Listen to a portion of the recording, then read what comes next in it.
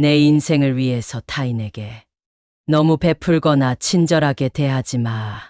내가 베푼 호의가 좋은 사람에게 전해진다면 그 호의는 기쁨으로 돌아올 수도 있지만 슬프게도 대부분의 사람들은 나를 무시하고 얕보기에 급급해진다.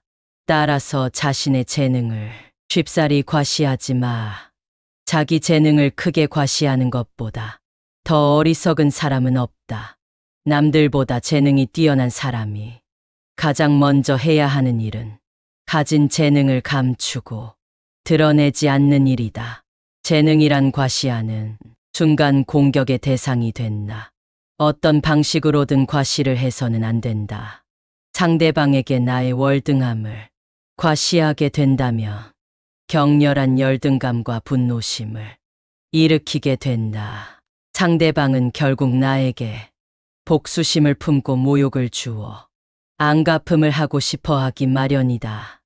사람은 본디 자신과 비슷하거나 자신보다 열등한 사람과 있을 때 가장 큰 편안함을 느낀다는 사실을 잊지 말라. 어릴 때 친했던 친구들과 시간이 지날수록 멀어지는 이유도 이와 비슷하다. 오랜 시간 자신만의 삶을 살며 어릴 때의 친구들과 비슷한 부분이 사라졌기 때문에 점점 멀어질 수밖에 없는 것이다. 그러니 나의 안전을 위해 나의 뛰어난 점을 너무 드러내지 말고 재능을 드러내야 할 때와 숨겨야 할 때를 구분하여 다른 사람을 안심시켜라. 자신이 어떤 슬픔을 겪고 있는지에 대해 말하지 마. 슬픔은 공유해서 좋을 것이 없다. 슬픔은 기쁜 사람도 부정적인 감정으로 물들게 한다. 나의 슬픔을 위로해 주지 않는다고 그 사람을 비난하지 마. 타인 혹은 세상에 절대로 많은 것을 기대해서는 안 된다. 아무리 친해도 결국 타인은 다른 사람에게서 무엇을 더 얻으려 하는가? 결국 인간은 누구나 혼자다. 중요한 것은 혼자 있을 때 그가 어떤 사람인가 하는 것이다. 모든 것에 있어서 결국 인간은 자기 자신에게서 구해야 한다. 약간의 근심, 고통, 고난은 항시 누구에게나 필요한 것이다.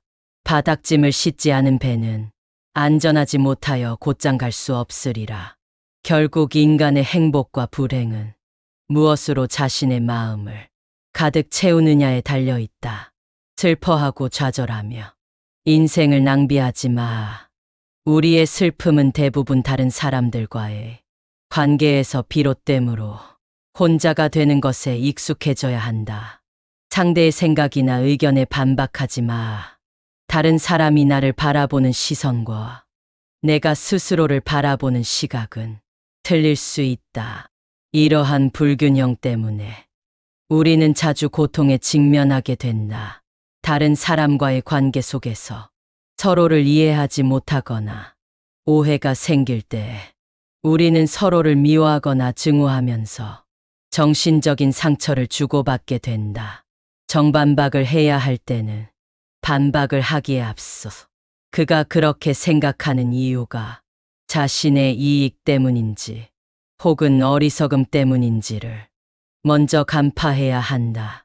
우리가 대화를 나누다 보면 나와 반대되는 얘기를 듣거나 가치관이 다른 얘기를 들을 수밖에 없다. 이럴 때 즉시 반박하는 것은 좋지 않다. 왜냐하면 상대가 다른 사람의 말을 듣지 않는 고집불통인 성격일 수도 있지만 그가 당신의 의중을 떠보기 위해서 일부러 반대되는 의견을 내놓는 것일 수 있다. 전자의 경우에는 웃고 넘겨버리면 그만이지만 후자의 경우에는 속에 감추고 있는 위험에 대비해야 한다. 건전한 논쟁은 좋은 일이다. 하지만 건전한 이유가 아닌 그저 당신의 속마음을 알아내려는 교활한 속셈을 가진 사람을 대할 때에는 경계심을 풀지 마. 경계심이란 마음의 빗장을 단단히 걸어두는 것이 지혜롭다. 개인적인 비밀을 사람들 앞에 드러내지 마. 개인적인 비밀을 남들에게 얘기할 필요가 없다. 좋은 비밀은 질투를 불러일으키고 나쁜 비밀은 상황이 나빠지며 결국 나에게 약점이 되는 법이다. 따라서 개인적인 비밀은 마음속 깊이 숨겨두어야만 한다. 아무리 친한 친구에게도 객관적인 자기 모습만 보여주는 것이 좋다. 주관적으로 바라보면 친구도 결국 남이기 때문이다. 적에게 알려서 안 될 일은 친구에게도 알리지 말라는 아라비아 격언이 있다. 비밀을 지키면 비밀의 주인이 되지만 비밀을 고백하면 비밀의 노예가 된다. 그리고 평화의 열매는 결국 침묵의 나무에서 열리는 법이다. 말이 많으면 말 실수가 느는 법이다. 과묵함은 처세의 근본이라 사실을 우리는 결코 잊지 말아야 한다. 상대의 인격을 무시하는 말을 하지 마. 비록 천하고 가련하며 비웃음을 받아 마땅한 사람이라 할지라도 그의 인격을 무시해서는 안 된다. 아무리 나쁜 인격자를 만난다 하더라도 그래 세상에는 저런 존재도 필요하지라고 생각해야만 한다. 오히려 모든 사람들의 인격 속에 존재하는 영원성이나 불멸성을 찾는 것이 필요하다. 모든 사람의 천성은 결코 쉽게 변하지 않는다. 지나치게 관대하고 다정하며 상대방은 무례해진다. 인간은 자신을 찬양하는 사람보다 자신을 경멸하는 사람에게 더 신경을 쓴다. 사람들이 한평생 수많은 위험을 무릅쓰고 땀 흘려 노력하는 원인은 무엇보다도 남들에게 인정을 받기 위해서다. 인정하는 말을 하고 무시하는 말을 하면 안 된다. 인격을 무시하는 공격적인 성향은 언제나 비이성적인 말을 동반한다. 환경이 변하면 이해관계도 변하기 때문에 상대방의 태도나 행위도 달라질 수 있음을 명심해야 한다. 말이나 표정으로 부정적인 감정을 드러내는 것은 무익하고 위험하며 우스꽝스럽고 어리석은 일이다. 인간이란 모두가 똑같다. 그들은 칭찬을 받으며 비록 사탕발림이라는 걸 뻔히 알면서도 흐뭇해한다. 인간의 이런 특성은 이해하기 어려울 만큼 어리석 무의미하다. 나의 걱정을 남에게 말하지 말라. 당신이 직면한 문제를 절대로 남에게 말하지 마. 일할은 신경조차 쓰지 않을 것이고 구할의 사람들은 당신이 문제에 처했다는 사실에 몹시 기뻐할 것이다. 언제 닥칠지 모르는 사건 때문에 마음의 평화를 잃는 일은 없어야 한다. 이를테면 우리는 불행한 일이 절대로 일어나지 않을 것이라거나 적어도 지금 당장은 일어나지 않을 것이라고 생각할 필요가 있다. 걱정에 대한 상상력을 억제하라. 걱정은 한번 시작하며 좀처럼 걷잡을 수 없게 된다. 거센 폭풍의 기운에 휩쓸린 것처럼 제 멋대로 자라는 것이 걱정의 특징이다. 걱정에 대한 상상력은 모래성과도 같다. 우리는 걱정으로 모래성을 쌓지 않도록 반드시 경계해야 한다. 걱정의 모래성은 많은 열정만을 낭비할 뿐이다. 걱정으로 세운 건물은 단 한 번의 한숨으로 무너져 내릴 만큼 허망하다. 그러나 무엇보다도 주의해야 하는 것은 불행을 상상하면서 걱정하는 일이다. 바로 눈앞에 불행이 닥치기 전에는 미리 걱정하지 않는 것. 그것이 지혜로운 자의 행동이다. 청년기에는 주관이 지배하고 노년기에는 사색이 지배한다. 다시 말하면 청년기는 작가로서 알맞은 시기요.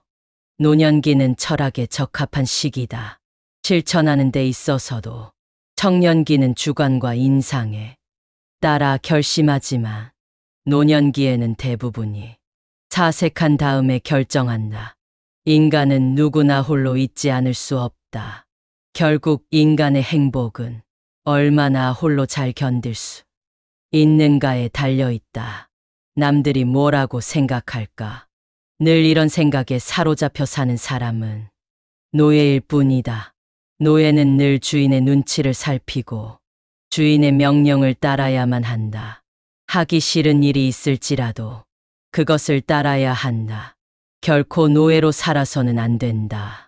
정신적으로 풍요로운 사람은 완전한 고독 속에 자기 자신의 사유와 상상을 통해 탁월한 즐거움을 누린다. 행복과 세상의 본질은 무엇일까? 인간 세상 어디를 살펴보더라도 그렇게 대단한 것을 얻기는 어려운 일이다. 세상에는 고난과 고통이 넘쳐흐르고 있고 인생은 고통인 것이다. 이러한 상황에서 우리를 직간접적으로 행복하게 해주는 것은 다름 아닌 내 자신의 마음이다. 마음의 명랑함이 무엇보다 중요하다. 인간을 불안하게 만드는 것은 대상이 아닌 대상에 대한 의견이다. 행복이란 외부 어디에도 없고 자기 자신이 그렇게 느끼기에 행복한 것이다. 행복하게 살아간다는 것은 불행하지 않게 견디며 살아가는 것이다. 행복은 쾌활함의 정도에 비례해서 커지고 쾌활함은 육체와 정신적인 건강에 좌우된다. 건강한 거지가 병든 왕자보다 더 행복하다. 나무가 튼튼해지기 위해서는 바람이 필요하듯 인간이 건강해지기 위해서는 운동이 필요하다. 최상의 보물은 명랑한 표정과 쾌활한 마음이다. 행복의 90%는 건강에 달려 있다. 사람들이 질투의 감정에 사로잡히는 이유는 자신보다 나은 처지의 사람을 바라보기 때문이다.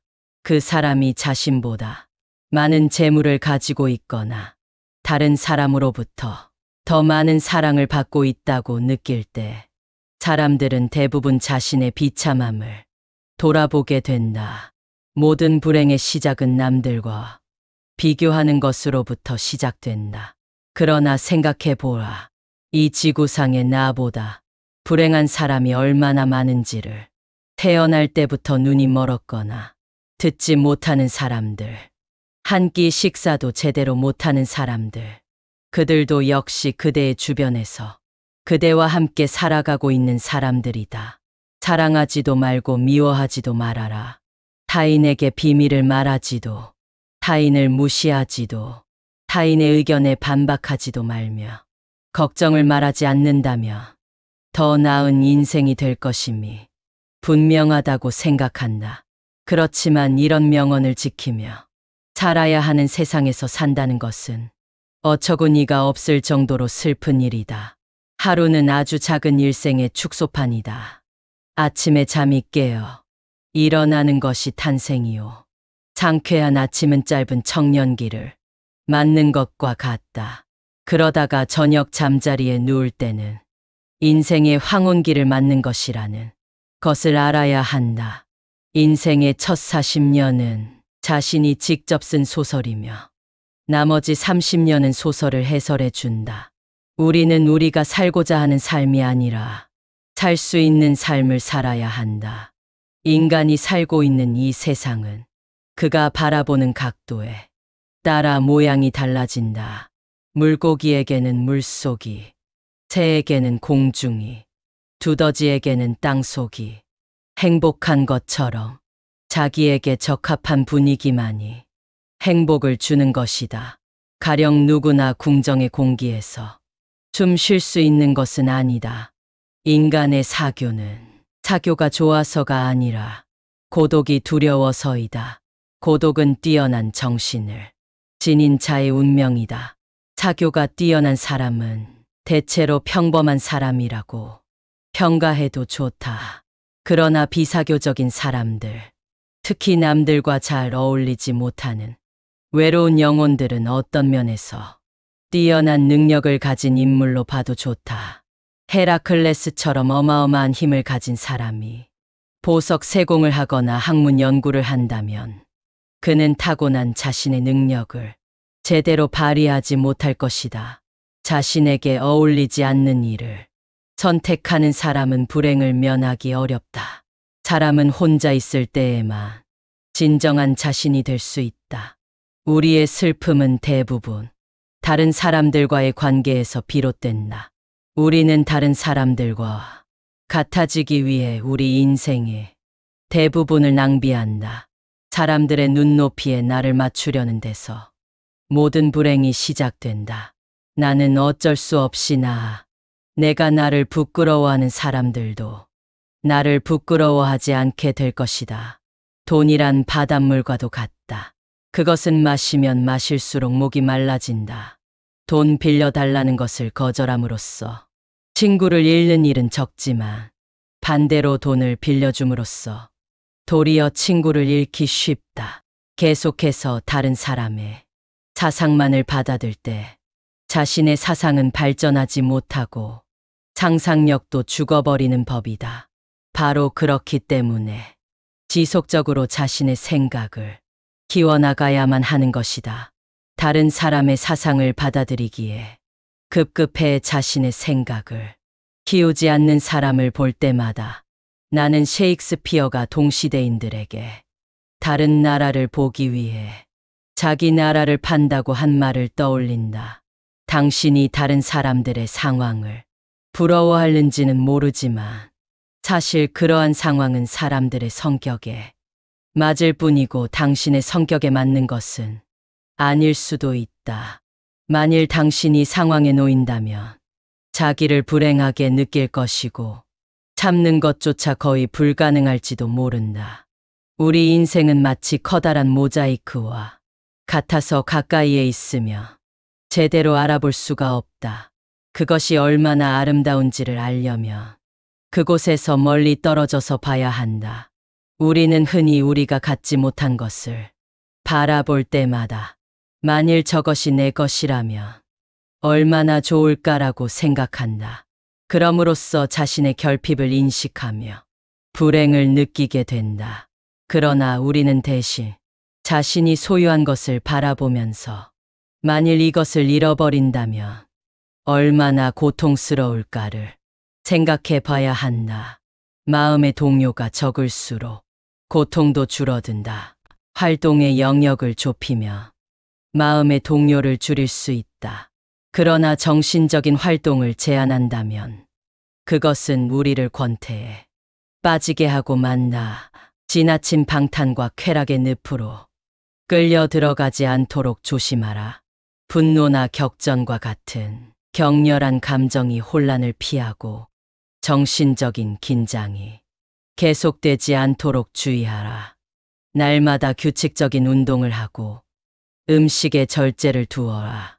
실패로 결말이 날 것이라고 예상되는 상황에 처해 있더라도 한 가닥의 희망의 빛이 보인다면 결코 절망하지 마. 시커먼 먹구름이 하늘을 뒤덮고 있더라도 한쪽 구석에 작지만 밝은 빛이 새어나오고 있다며 그대여 결코 희망을 버리지 마. 아무리 작은 빛이라 하더라도 빛은 세상을 환하게 비춰줄 수 있으며 우리의 앞길을 열어줄 수 있다. 저기에 자그마한 빛이 보이지 않는가. 천지가 뒤집히기 전에는 용감한 사람은 결코 쓰러지는 일이 없다. 용감한 사람은 어떤 일에서든지 한 가닥의 희망의 끈을 잡고서 험난한 파도를 향해 뛰어든다. 하지만 대부분의 사람들은 작은 빛보다는 무거운 먹구름만을 의식하며 두려움에 떴나. 그러나 먹구름은 반드시 거치기 마련이다. 진정한 용기를 가진 차라면 그대여 작은 빛을 향해 자신의 모든 것을 던져 최선을 다할지어다. 차원 높은 숭고함은 시련 속에서만 얻을 수 있다. 자연은 때때로 사나운 회오리 바람을 내보낸다. 주위는 짙은 어둠에 뒤덮이고 하늘에는 거친 비바람이 휘몰아치고 있다. 우리의 시야를 방해하고 있는 바위는 거대하며 대지에는 나무 한 그루, 풀 한 포기도 보이지 않는다. 강은 요란스러운 소리를 내면서 거품을 일으키며 흐른다. 골짜기를 스며드는 바람은 귀신의 비명소리를 방불케 한다. 그렇게 우리는 손과 발이 묶인 채 자연과 싸워야만 한다. 이러한 조건 속에서도 고통이나 고뇌의 마음을 빼앗기지 않고 사물을 객관적으로 바라볼 수 있다면 인식의 순수한 주체인 나는 모든 것을 분명하게 통찰할 수 있다. 객관적인 인식과 냉정한 통찰은 우리에게 있어서 반드시 필요한 능력이다. 이러한 인식과 냉철한 사고가 없다면 우리는 수많은 세파에서 살아남을 수가 없다. 무모함과 거침에서 벗어날 수 있는 길은 논리적이며 이성적인 사고뿐이다. 감사합니다. 명언 인생입니다.